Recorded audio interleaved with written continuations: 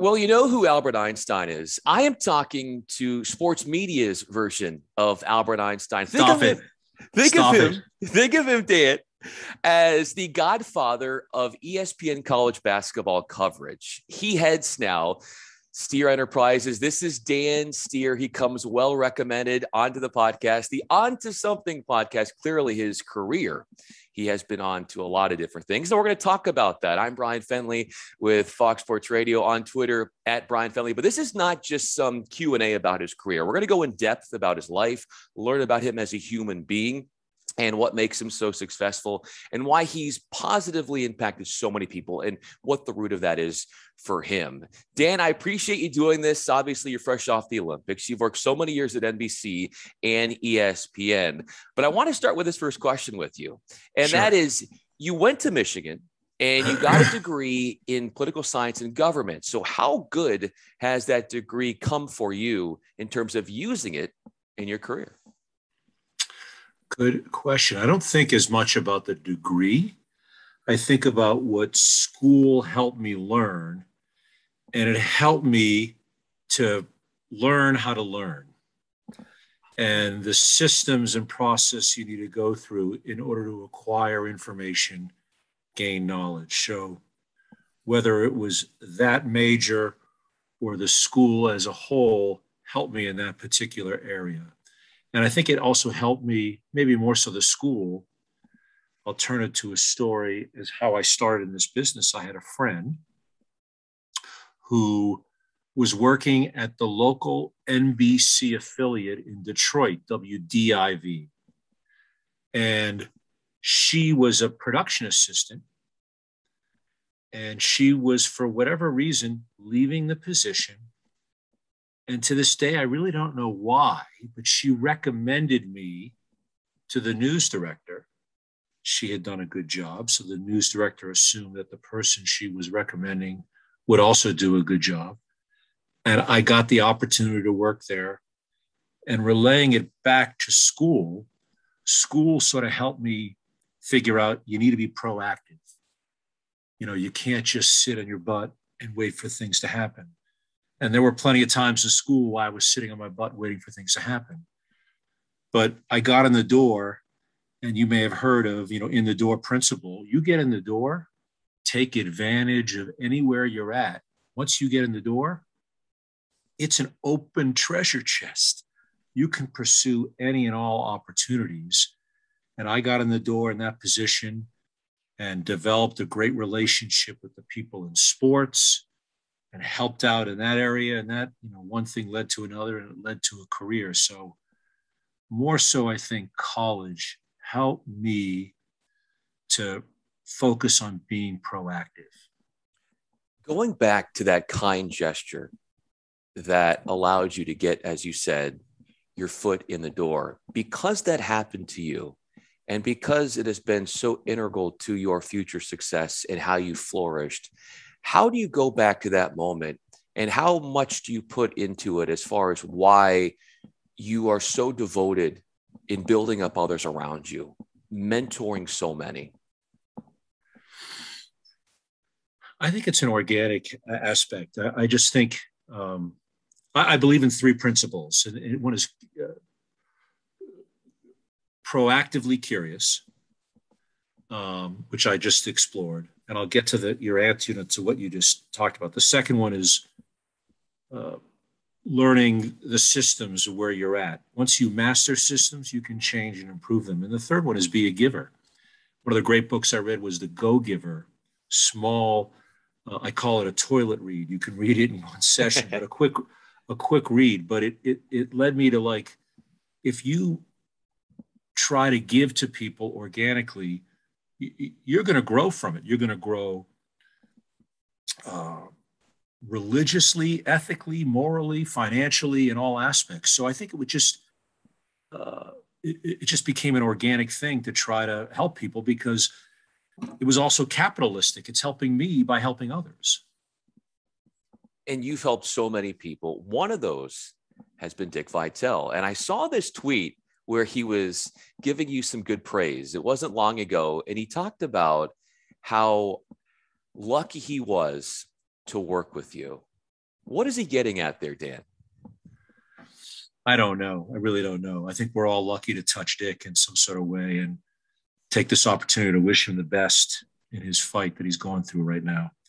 Um, I don't know. It just, uh, I, I, really, I, I, don't know. We were just, I made every effort to try to help him realize his abilities and uh, wanted to foster them as best we could, best I could. And uh, I really don't have an answer for you there. You know, I just uh, try to be as helpful as I can to. I think the answer to that is that you're very humble. And that's what I'm trying to get at with this conversation. Dan Steir is with me. I'm Bryan Fenley. How have you been there for Dick Vitale in times of need and, and things that he's gone through? And you've always seemingly been there for him. I think it's just communicating and calling, staying in constant communication, not just with him, but something I noticed these days is I was a big believer. I remember I was speaking at a school and closing question was asked, you know, what's one piece of advice that you'd offer uh, graduates or kids that are graduating? I said, pick up the phone. Yeah. And, you know, calling people. And uh, I was really religious and staying connected with all the people that I work with from PAs to talent. Um, you get much more than just an email. You get much more from that than an email communication. So back to your question, I just made it, you know, I, made sure before and after every game, I was communicating with him. And I try to do that a lot with the majority of the personnel that I had an opportunity to work with during the course of my career. And after games, what I've noticed about you, Dan, is that you are so good about giving back feedback, whether it's talent, whether it's producers, along the lines of anybody who's a part of the broadcast, you are there. How do you make time for giving back feedback to so many people? And it certainly has enriched so many as well. I think it's, it's, uh, I appreciate that people feel enriched. That's nice to hear. But I think it comes from dealing with situations maybe too quickly, right away. I think I'm guilty of reacting to situations immediately so they don't build up. You know, you don't end up getting like behind me a library of things that you have to follow up with. I tried to deal with it along the way. I also am a believer in writing it ugly and making it pretty. So I would write things down and try to follow up on them as soon as possible. What was what was easy in a way was when you were dealing with a specific sport over a finite period of time. You know, you could commit your your time and effort to that particular sport. So if it was 16, 18 hour days, especially if it's something you're passionate about. So you, you just have to stay on top of it, commit your time to it. You know, I was very lucky at, at all the places to have opportunities to work on projects and then have time, short or long, to get myself, you know, or rejuvenated to get going again. But it was a finite amount of time. And I just felt dealing with things right away, don't let them build up. And then you hear the old adage like, if you're bothered by something, if you don't deal with it right away, it festers, right? You know, you get more annoyed by it. You need to address it and talk about it right away in a, you know, honest and matter of fact way and express yourself honestly. I really despise the word honestly I get my kids all the time because you'll hear it all the time. Pay attention, you'll hear it all the time. People will say, Well, honestly, I feel X or Y. Well, what does that mean? Does that mean the rest of the stuff is dishonest? Right? What people mean is, I want to really stress this point to you. Right? So, honesty, I just went on my uh, high horse. Let's get rid of the word honestly in conversation. A word that we are going to keep as we get rid of honestly in conversation, and this is actually a phrase attention to detail. How have you been able to embodiment or embody that, excuse me, in your work? Because I've talked to so many people who say that you are the spitting image of what attention to detail means, whether it's during a broadcast, afterwards. Everything has to be a certain way, and people appreciate that from you. Yeah, I think maybe to a fault at times. I get credit. I, I criticize myself, but I, as I was saying earlier, I try to when I see things, I'll write them down to make sure that we follow up, or I follow up on those particular things. So uh, I would say that's that's the reason why I'm able to maybe pay more attention to detail. I know in my own life, if I don't write things down, I forget them. Maybe it's my age. So it's, as I said, writing it ugly and then making it pretty and following it up. What is one thing you will not forget that displays persistence that you've overcome or had or dealt with in your own career? Hmm.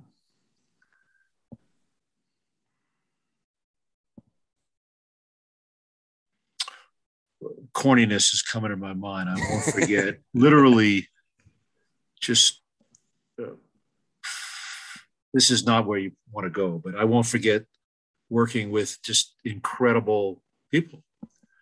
Um, I'm trying to think about a situation. Maybe we continue to go. I'll think of something that pops yeah. in my head. But, uh, I don't have a specific response for you. I uh, what comes to mind is just being, you know, just I feel really. How do you feel? Don't you feel lucky? I just feel really lucky in my life that I've had an opportunity to do what I've done and work with the people that I've been able to work with. That's not where you were going, but that's the response I'm giving you. The people who feel, and, and, and so many feel lucky to have worked with you over the years, they keep with them these Dan Steirisms, the, these phrases, phrases, the phraseology, if you will, of words that you've used to help get across points and help bring about your technique in a production truck. When you know that those are alive and well all these years later, what does that mean to you? No, that makes me feel pretty good. No, it's nice. Nice to hear that. Um, but I hope I hope people apply them I hope they still are logical. Um, I'll give you a couple examples. One is um, think backwards. You know, especially when you're editing something or editing and condensing, say, highlights.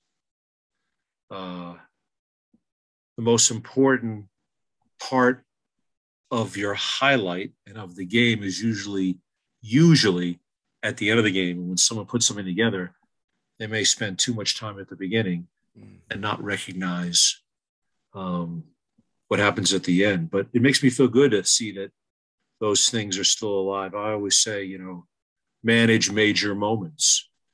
You know, I, I remember 2005, 2006, 2007, I forget what it was, but someone asked me, Dan, you deal with all these games how do you judge success? And I did not have an answer for the person, like your earlier question. I couldn't figure it out. And then over the summer, I thought about it and I, I, I made it a focus of the next year's um, campaign and seminar was managing major moments. You know, you're going to be judged really on how to handle the major moments in a broadcast. Yeah, you want to do a great job throughout, but how you handle the various major moments is how one judges the broad, broadcast, remember the broadcast. Um, again, typical of me, I've gone on to another tangent beyond your question. So. Dan Steir is with me. I'm Bryan Fenley. I love the way your brain works, especially considering that, if I'm not mistaken, Dan, you put out this pamphlet where there's 17 different styles in order to do a highlight what kind of brain and where were you when you constructed this list that seemingly is followed by everybody in sportscasting today? Yeah, I don't know. I'm not sure it's followed by everybody, but I, I, I, it's it's funny. I was revisiting that because of this show that I was lucky enough to be a part of um, at the Olympics, and revisiting the type of and approaches of highlights.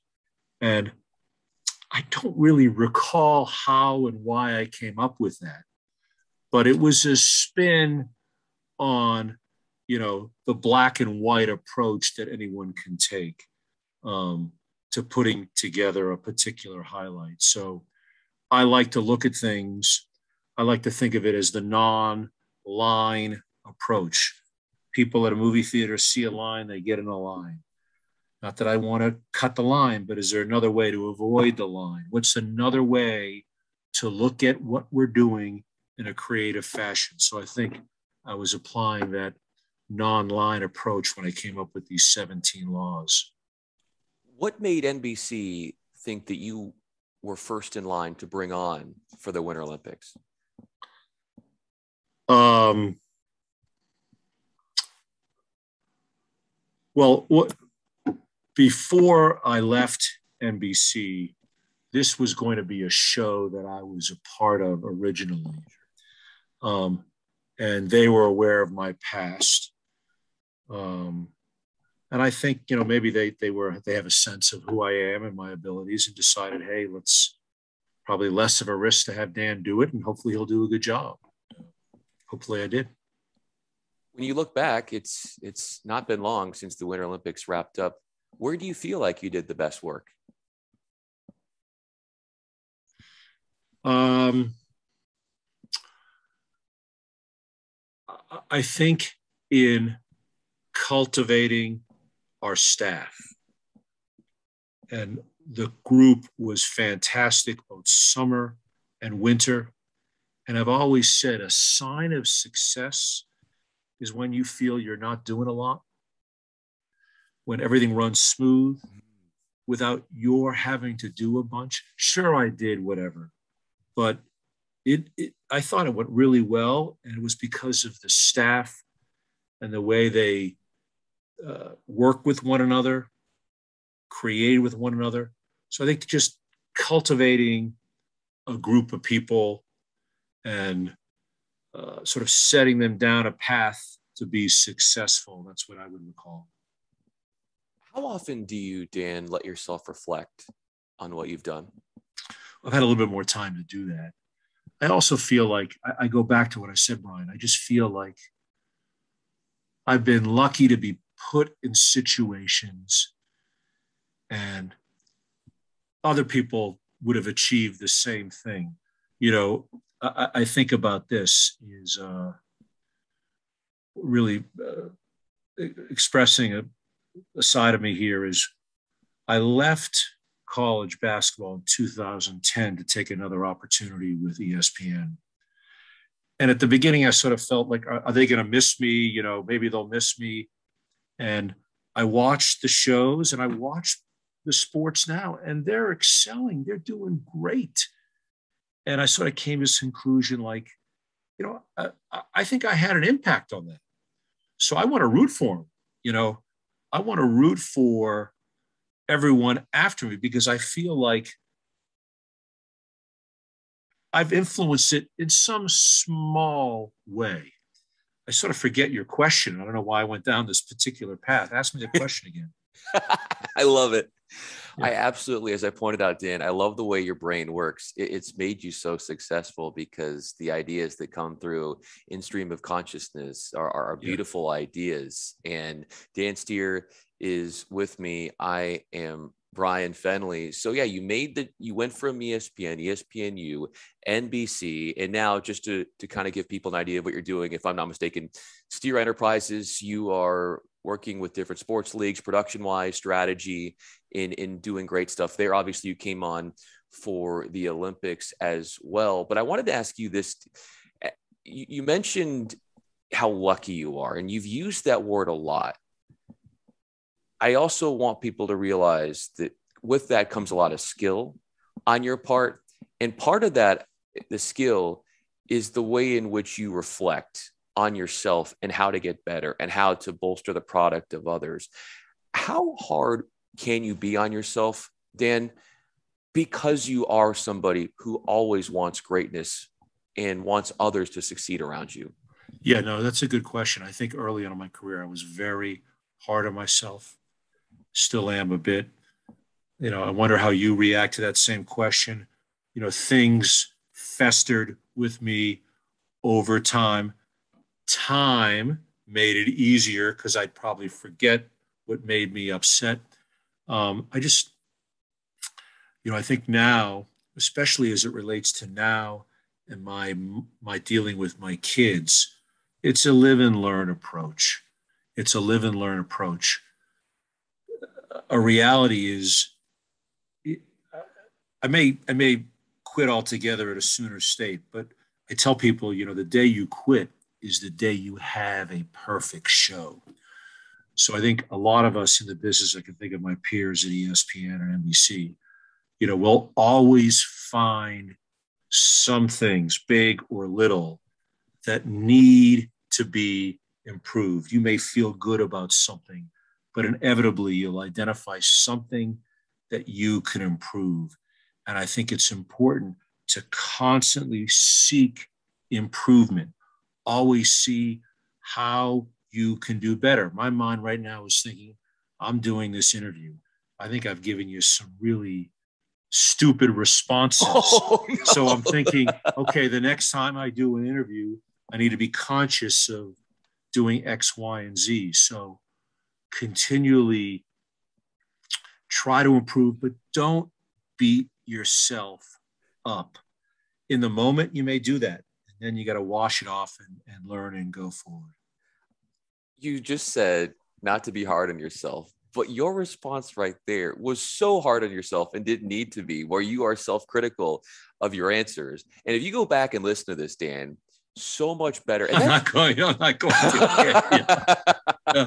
Yeah. Well, when your colleagues look at it, they're going to probably say, Dan, you were great. And I want to leave you with this final question. Dan Steir is with me. I'm Bryan Fenley. So there's this constant throughout your life, this desire to improve. If you look at how you've improved as a father from becoming one to, to the years thereafter, where do you see that? I see that with a story in that uh, I've got four girls. They're all amazing. My wife's amazing. Um, my response to that is when we had our second child, my initial thought was just this is just going to be the same as the first child. So, as it relates to the kids, every day is different, every kid is different, and you learn from each situation and each experience. You do your best to try to not have the bad experiences get repeated. But in a way, you can't always control that. Hopefully, you learn as a parent from your previous experiences and improve as a father, improve as a parent. Um, but you know what I find is you ask these questions, I go on a bit of a soliloquy and I forget the original question. Yeah. Um, but I've I try to make you think. Yeah. I try to make you yeah. think. No, no, you do. You I, do. don't want to throw at you, as you know, Dan, like, I don't want to throw out the cliche questions. I really no, want this to do. be meaningful you're, you're, you. You know, you do a good job, Bryan, in that you've done your research and you're reactive to the response. You try to craft your next question um, with something that happened in the answer. I always tell my kids, you know, if you're responding off of an interview, make sure you bring something up that you talked about within the interview. You know, I love how you mention that because I really do enjoy taking a word or a phrase from your last answer. Sure. And then listening to what you're saying. And at the same time, my brain is thinking, how can I take that word or phrase include that in my next question for you so that it seems like a, a seamless transition into the next question. Yeah, yeah, yeah. I, I, I, that's great. I agree. It's good. Let me ask you a question. Are you an Adam Morrison fan? I was wondering how long it would take for you to bring that up. I am. And so I recently had on, you are just the second guest I've had who has brought this up you and Steve Ackles are the two that have brought this up. I am a huge Adam Morrison fan. And Dan, I might be one of only five people on this earth that has a Charlotte Bobcat Adam Morrison jersey. I think the other four people are probably from his immediate family, but I love the way he played college basketball. And you were at the height of ESPN college basketball while while he and JJ Redick were battling. I can't even one of imagine. the great games. Do you remember the Maui game against Yes. Michigan State triple overtime game? Was that 05 or 06 or 04? I forget. And I remember being in the truck in Maui Wow. for that particular game. I was not producing, but I was in the truck. Uh, and I remember that, but I don't remember the year. Do you remember the year? I think it was 05 because that would have been the same year that they would have gone on and had that heartbreaking loss in the NCAA tournament Yeah, to yeah, yeah, UCLA, Yeah, yeah, yeah. which I'm sure you saw. And then to see that year and the way in which Adam and then JJ Redick, they were sort of like taking over the college basketball landscape. It seemed to be were. a competition between Yeah, both yeah, of yeah. them to one up each great. other. Yeah, yeah, yeah, yeah. It's great. It was great. Dan uh, Steir, I appreciate you. Thanks for doing this. Bryan, thank you. Appreciate it. Thanks for taking the time with me. Appreciate it. Yeah, Dan Steir, certainly check out his work, ESPN, NBC, and the Now Enterprises with Steir Enterprises, that is, as he looks over production for sports leagues, events, strategy. He does it all. And it was fun to talk about his career. I'm Bryan Fenley. This is the On to Something podcast. Dan, appreciate you once again. Thanks, Bryan. Appreciate it.